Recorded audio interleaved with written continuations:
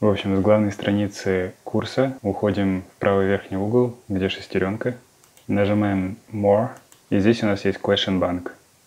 Мы можем импортировать вопросы, либо сами их вводить. И вот, когда мы нажимаем на Questions themselves, здесь нажимаем Create a new question, и у нас есть выбор между Multiple Choice, True or False, и для открытых вопросов эссе. Для начала создадим эссе. Здесь у нас несколько полей, которые обязательны для ввода. Question name, например, astronomy. И в самом теле вопроса question text у нас есть панель форматирования. Мы можем добавить рисунки, видео и так далее. Здесь вводим, например, name first three planet. Так, также даем оценку по умолчанию. Пусть здесь у нас будет три планеты и по баллам на каждую. Далее, когда студент нажимает Submit, мы можем выдать ему общий фидбэк, например, Everything went well. Далее здесь мы выбираем формат, пусть это будет HTML или plain. Ну, в данном случае можно plain, и мы не даем им возможности загружать свои файлы. Значение input box на 15 линий это будет показывать по умолчанию вот такое окошко, и 15 линий это примерно вот столько. Но студенты сами могут увеличить или уменьшать, поэтому ничего страшного. Можно 15, можно чуть меньше оставить. Allow attachments нет, потому что мы не даем им загружать файлы. Так, все остальное без изменений. Нажимаем Save Changes. И вот у нас появился первый вопрос а, с открытым essay. Теперь нажимаем Create a new question и, например, True or False. Здесь вводим название True or False. И в теле вопроса вбиваем сам вопрос. Choose True. Default можно оставить один. Correct answer True. То же самое можно выдать общий фидбэк, либо фидбэк на каждый из ответов, на true или на false. Нажимаем Save Changes. Далее создаем еще один вопрос. Это будет простой multiple choice. Question name. Нужно ждать, пока прогрузится строка форматирования, потому что без этого он просто не начнет ввод текста. Пусть это будет simple multiple choice.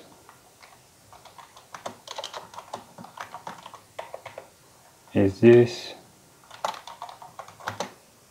choose 5. Дефолт пусть остается единица. General feedback тоже.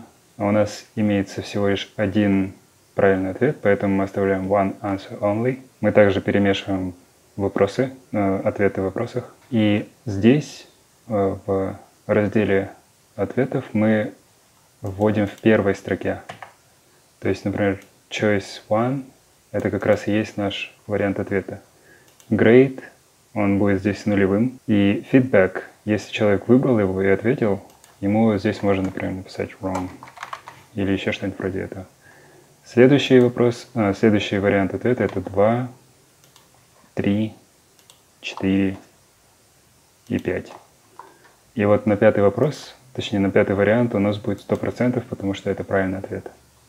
Ну и здесь есть такая опция, что при одном стопроцентном правильном ответе мы можем а, указать еще несколько вопросов, которые будут давать положительное количество процентов, либо отрицательное. То есть, например, если человек ответил 4, то у него минус 10% к общей оценке идет.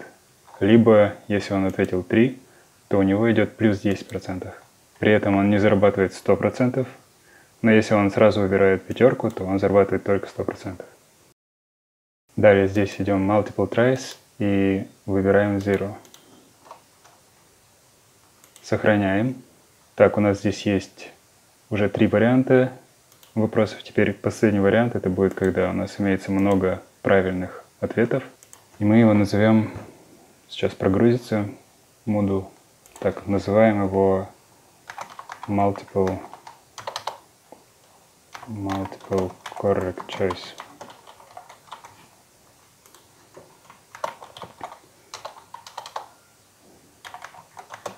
Choose everything above 2. У нас здесь будет 5 вариантов ответов.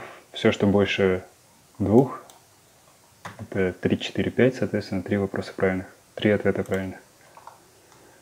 В этом варианте мы выбираем one or multiple answers, и здесь у нас multiple answers allowed. Также мы их shuffle, один, два, так, не сюда, три, четыре и пять. И на каждый из них от максимального ответа будет по 33%.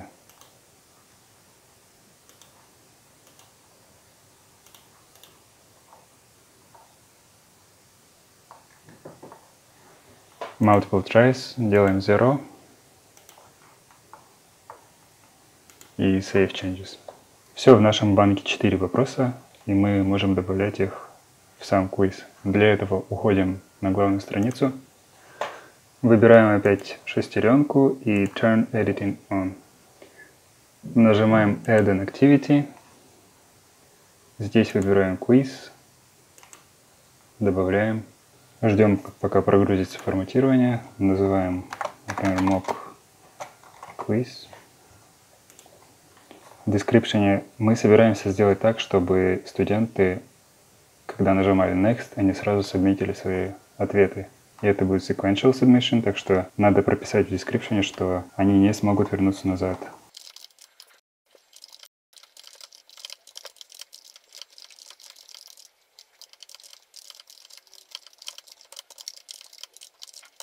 Так, мы также хотим, чтобы данный description у нас появился на странице нашего курса. Далее идем в тайминг. В тайминге выбираем, когда будет открыт. Например, он может быть открыт 2 часа в пятницу и так далее. Но на данный момент я ничего не буду это выбирать. Я выбираю количество времени на 4 вопроса, например, 5 минут. Далее, если мы выбрали, например, э, время закрытия квиза, мы можем выбрать алгоритм, чтобы все открытые попытки студентов закрылись автоматически. А, предположим, что у нас закрывается э, в 16.59. И один из студентов зашел в 16.58, соответственно, у него не 5 минут уже остается, а 1 минута. При выходе времени эм, сразу автоматически сабмитнется квиз. Идем в grade.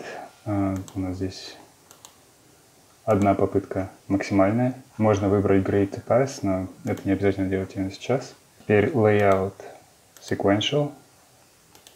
Таком, таким образом, всякий раз, когда они нажимают Next, они будут сабмитить свои результаты. Shuffle, да.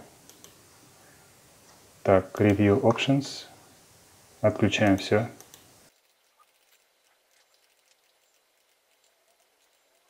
Так, Appearance – это сбоку будет появляться большая фотография студента. Так, все остальное у нас готово. Все можно Save and Display сделать. Так, вот он появился экзамен и description экзамена. Но так как пока мы не хотим, чтобы наши студенты все видели, его можно пока скрыть.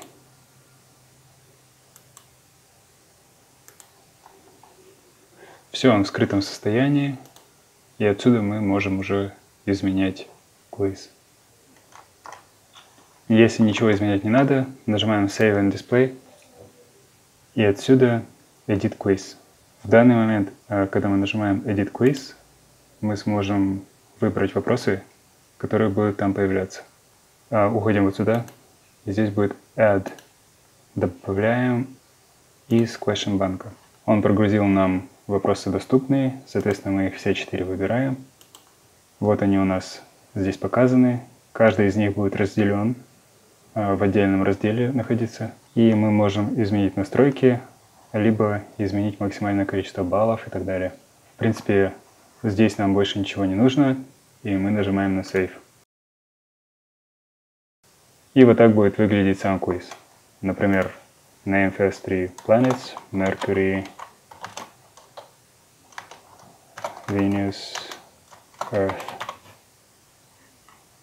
Все, мы нажимаем Next Page, и это будет submission а, для данного варианта ответа.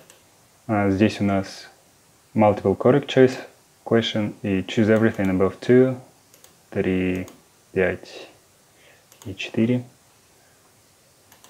Choose 5.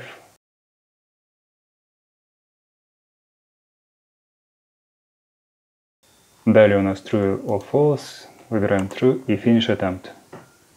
Здесь нам предлагают либо вернуться к attempt, но если мы вернемся, ничего не произойдет, потому что мы не можем ничего изменить. Поэтому submit all and finish.